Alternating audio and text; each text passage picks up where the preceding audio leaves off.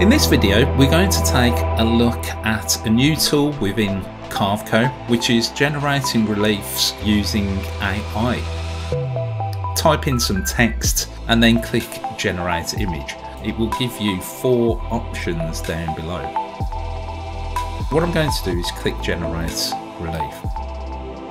You can see that it's generated a really really good relief for me.